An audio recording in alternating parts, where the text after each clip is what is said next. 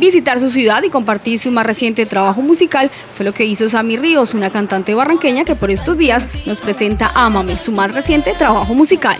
Bueno, mi más reciente sencillo es Ámame, es una canción que nace del alma, que nace del corazón, que está cargada de mucho amor, una canción muy dedicable, una canción para que la compartan con ese ser que tanto aman, que tanto admiran y para que se la gocen y se la bailen porque es un género muy bonito, es una canción muy comercial que esperamos que la disfruten y que la acojan con el mismo amor que fue producida.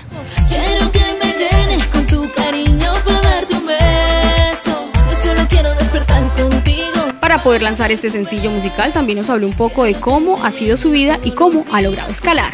Sami es una luchadora incansable, es una mujer apasionada, es una mujer eh, demasiado arriesgada.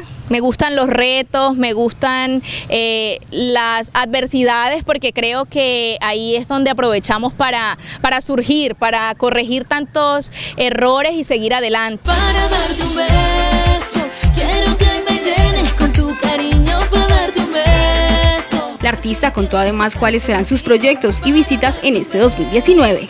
Tenemos gira en Bucaramanga, Santander, Ocaña, norte de Santander, Río de Oro, Cesar, que es el pueblo que me acogió, que me, que me vio crecer.